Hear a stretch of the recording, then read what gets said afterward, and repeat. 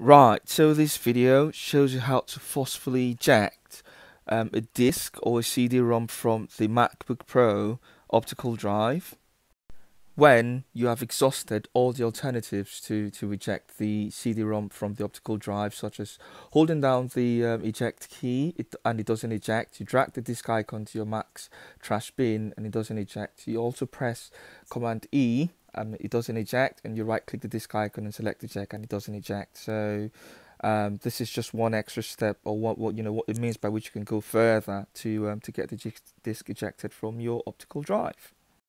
So I've got an optical drive stuck in my MacBook Pro um, and I'll show you the troubleshooting steps you know that I've deployed. I'm pressing the eject key it doesn't eject. Then I press command E and it doesn't eject as well. Um, I hold down the trackpad it doesn't eject um,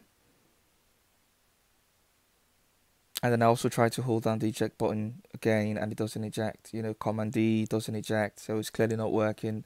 And I can't find it in my, you know, my Finder, you know, my Finder tab. It's not reading or showing up on the computer. So, so basically, I click the Launchpad button and um, go to my window or the window terminal, the terminal, and um, to troubleshoot the um, the error or the disk not you know forcefully ejecting so I click on terminal and I'd you know write down these codes um, in in the terminal.